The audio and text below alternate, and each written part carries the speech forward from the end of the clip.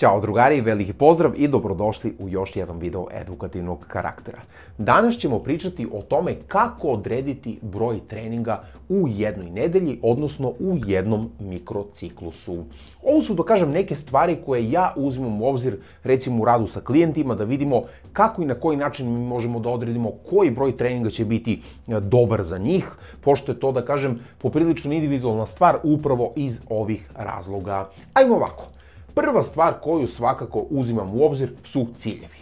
E, definitivno moramo da razumemo da što su naši ciljevi ozbiljni, ili tako, to će i naš pristup morati da bude ozbiljniji. Tako da, ako pričamo, na primjer, čisto o nekoj hipotetičkoj e, brojici, na primjer, od 3 do 5 treninga u jednoj nedelji, na primjer, e, vrlo verovatno tako da kako naši ciljevi budu ozbiljni, da će e, ovaj, naš pristup biti takav da ćemo e, imati gravitaciju više ka toj nekoj brojci, na primjer 4 do 5 treninga nedeljno, za nekog čak možda bude i 6 u nekim slučajevima, ali uglavnom znači 3 do 5 i većina klijenata sa kojima radim spada u tu neku brojku, 3 do 5 treninga nedeljno.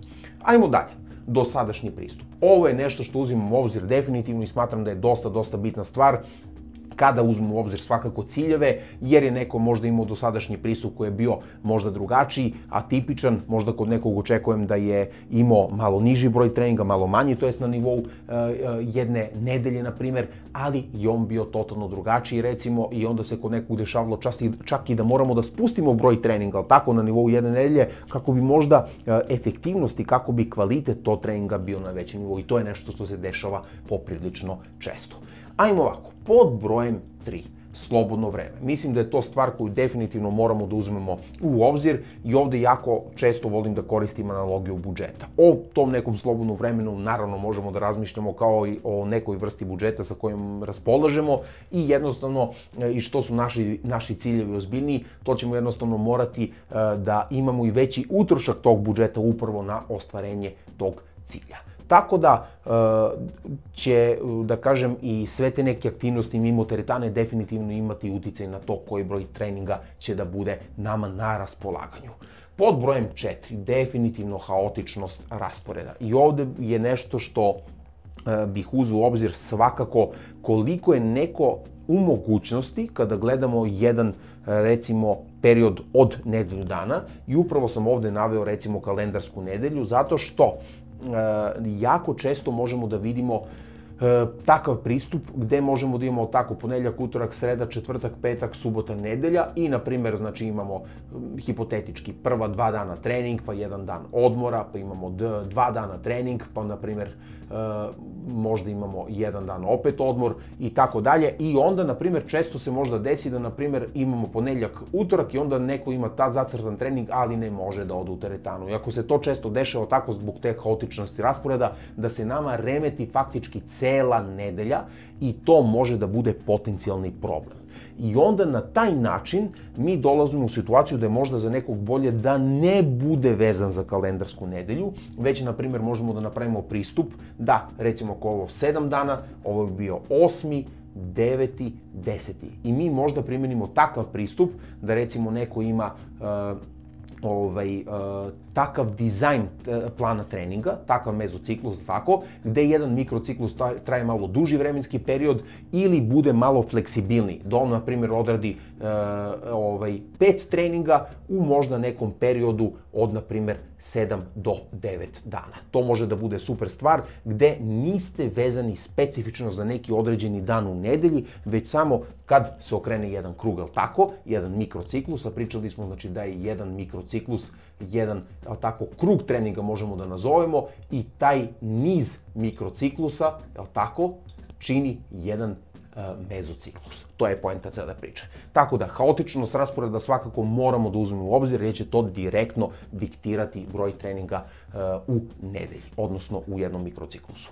Ajmo dalje. Kapaciteti za oporavak. Definitivno jako bitna stvar, jer ako ne možemo da se oporavimo od tog treninga, onda koja je poenta cele priče, jer na samom treningu, tako imamo određenu disrupciju nakon koje sledi e, taj period reparacije kroz, kroz koji sledi adaptacija na taj stimulans i nakon toga se povećava na naš baseline. Tako da to je nešto što bih uzeo u obzir definitivno i to je krucijalna stvar, znači kapaciteti za oporavak za koje moramo da shvatimo da će da budu variabilni u odnosu na to u kom se u kom se recimo stadijumu nalazimo kada gledamo i obaveze, posao kojim se bavimo, bavimo stres i tako dalje, što nas dovodi i na kraju krajeva do šeste i poslednje stavke ovde koju sam naveo, to je količina stresa i aktivnosti van teretane.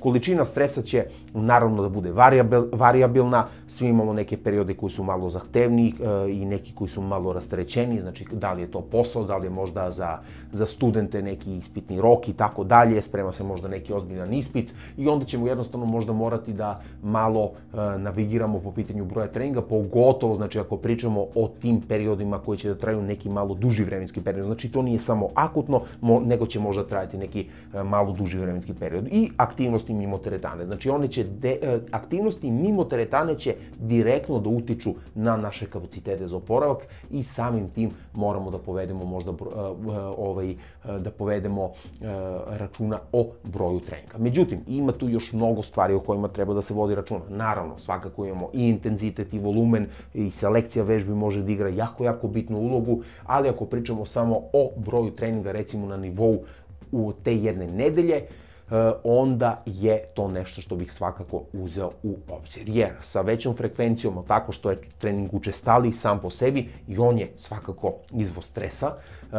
i o, to će nam uh, uticati tako, na te kapacitete za oporavak i onda će biti uslovljena ta adaptacija. Eto, to su da kažem neke stvari koje E, koje koristim, koje gledam iz što više različitih ugola mogu kako bih došao do te neke barem početne osnove koje su koje predstavljaju taj neki broj treninga. E sada, e, jedan savjet koji mogu da dam, a to je da uvek ukoliko ste u nekoj dilemi, da uvek je lakše i bolje krenuti od niže osnove i onda pratiti stanje i onda ako vidimo da ima potrebe i da ima prostora, lako možemo da povećamo, ali je tu da kažem ta neka tanka granica između toga da trening možda ne bude efektivan, e, dovoljno efektivan da možda imamo i onaj takozvani junk volumen, ako je recimo možda mali broj treninga, ali su treninzi previše obimni, tako da je to isto nešto čemu treba voditi račun. Eto, hvala vam puno na pažnji, nadam se da ste naučili nešto novo, ukoliko jeste, lajkujte, šerujte, subscribeujte, a mi se do sledećeg puta čujemo. Ćao!